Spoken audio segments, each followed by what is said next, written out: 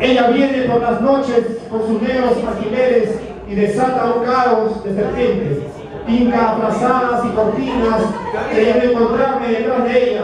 Arremete con violencia, muerde cables y enchufes, tratando de asustarme, redimirme, y así, entre las olas de una oscura percepción, electrocuta mis cabellos, saquea mi cuerpo, reflota en mis ojos el hilacho de su imagen y como toda perra muerde los nervios de acumulando entre sus manos la poca hierba de mi amor, penetra también en mi ombligo con sus óxidas agujas, va trazando la acupuntura de la muerte, mientras gotas de sangre salpican en el lienzo de su cuerpo y la noche es carne para dos.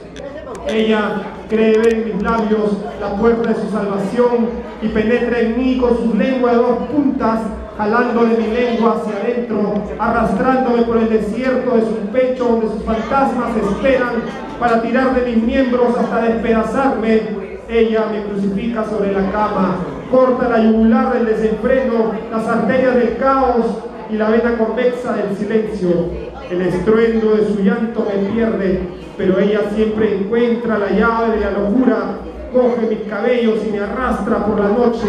La luna ríe en una esquina de la casa y ella la escupe con su saliva verdosa y transparente. La sangre coagulada en el piso refleja vagamente su, su sonrisa de trapo, su mirada eléctrica y sus dientes de animal rabioso, pero ella en realidad es un gallinazo comiendo de su animal muerto, picoteando con sus agujas las vísceras de su hombre, y nada se podrá hacer hasta que alguien haya vencido, porque dos en este mundo son muchos para dormir en una misma esquina.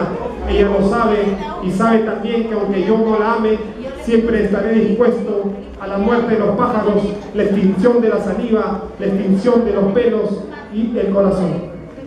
Gracias.